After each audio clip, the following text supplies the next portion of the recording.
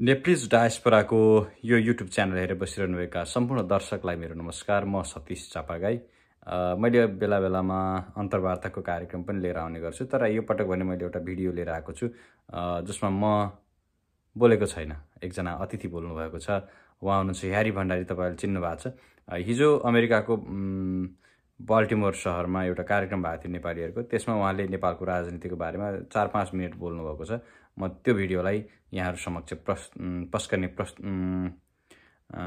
जमर्को गरेको छु उहाँले के बोल्नुभयो भिडियोमै हेरौँ है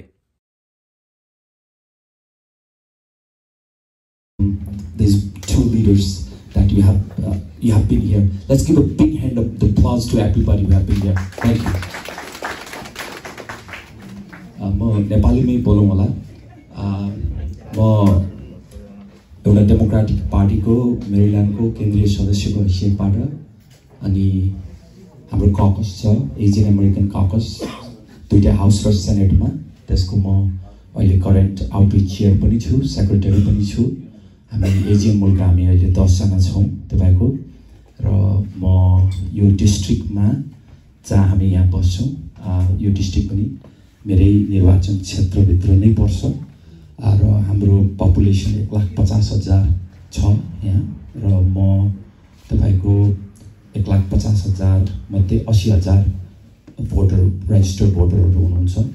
र त्यसको प्रतिनिधिको रूपमा तपाईँहरूको सहयोगले आज म मेरील्यान्डको जेनरल एसेम्ब्लीमा बसेर एक वर्ष मैले सेसन पनि पुरा गरेँ। तपाईँको जहाँ जर्ज वासिङटन जेफरसनहरू बस्नु भएको थियो जसले अमेरिका कुद्नु भएको थियो। त्यो गर्दाखेरिमा मलाई लाग्छ we have represented well and we have represented मेरो धेरै कुराहरू भन्नु त छैन तर मलाई म इलेक्सन जितेपछि नै अमेरिकालाई माया गर्ने नेपालीहरू अमेरिकनहरू पहिलाको एम्बेसडरहरूदेखि कन्सटेन्टली कन्ट्याक्टमा हुनुहुन्छ। मसँग कति मेरो आफ्नै पनि लेजिस्लेटिभ रिस्पोन्सिबिलिटीको कारणले म भेट्न पाएको छैन। कति ठाउँ उहाँले मलाई घरमा गएर स्वागत पनि गर्नुभयो। मलाई एउटा it was very emotional moment Peter बोडीले घरमा बोलाउनु भयो उहाँले भन्नुभयो नाइन्टिन एटिजमा उहाँ जानुभएको चाहिँ पहिलोचोटि र मेरो हात समातेर उहाँले भन्नुभयो delegate Bhandari it was so critical one I went to Nepal खानेपानीको कुरा शिक्षाको कुरा रोजगारीको कुरा नाइन्टिन एटिजमा जाँदा।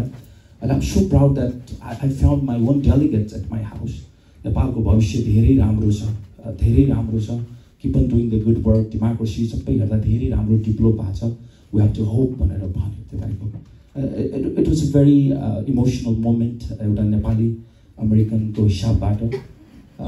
र मलाई जति पनि एनडिआईले युनिसेफले जति पनि नेपालको लिडर्सहरू आउनुहुन्छ उहाँहरूले मलाई नेपाली होला यसले कुरा बोलाइ बुझाइदेला भनेर एनडिआईको प्रेसिडेन्टहरूले पनि मलाई फोन गरेर अस्ति पनि एउटा डेलिगेसन आउनुभएको थियो।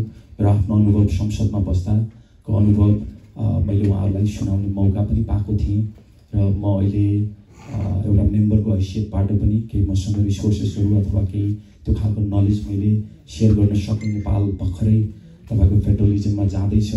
जस्तो मेरो गाडीको ट्यागमै सिक्सटिन थर्टी टू लेखा छ। डेमोक्रेसी धेरै पुरानो छ यहाँनिर। It takes it takes time it takes time र अन्त्यमा म के भन्छु भने मेरो आफ्नो अनुभव म डेमोक्रेट पार्टीको युथ अर्गनाइजेसनको अमेरिकाभरिको केन्द्रीय महासचिव माइनोरिटी कपसको हैसियतबाट पनि म के भन्छु भने म पनि बेला बेला धेरै नेताहरूसँग भेट्ने बिल क्लिन्टनदेखि बराक ओबामाहरू अस्ति हामी सँगै थियौँ।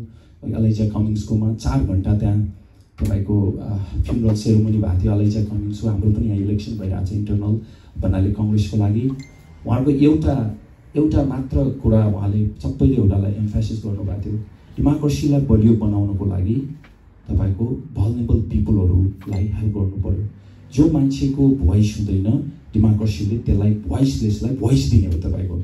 र मेरो एउटा सजेसन के छ भने नेपालमा डेमोक्रेसीको लागि ए उसँग विरोध गर्ने भन्दा पनि पहिला पर्भर्टीबाट बाहिर निकाल्नु पऱ्यो first of all that's that's hard र लास्टमा जस्तो संसदमा म जाँदै गर्दा हामीले seven hundred million dollar extra funding I this is my commitment as an इमिग्रेन्टको कारणले next year that will be my our first bill two billion dollar हामीले एजुकेसनमा लगाउँदैछौँ एउटा ट्रेड स्कुलको लागि केमा हुन्छ माल न्युट्रिसन छ नेपालमा त्यो भयो भने आई थिङ्क डेमोक्रेसी बलियो हुन्छ भन्दै thank you so much thank you